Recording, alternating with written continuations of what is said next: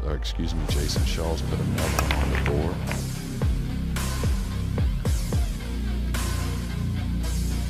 Look at this. He's looking at a, a very difficult flick on the blue two off the green six on the side. This is no hanger here.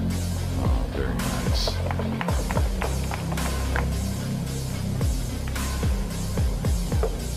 Yeah, and if that two went in, he was nice on the three, and it was a pretty good chance to see it out.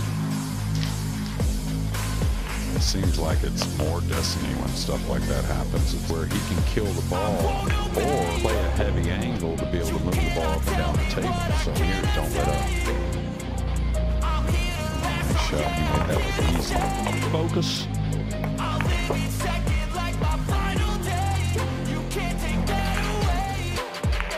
Wu Jiaqing, not surprisingly, took his time over that one. He knew what a massive shot it was.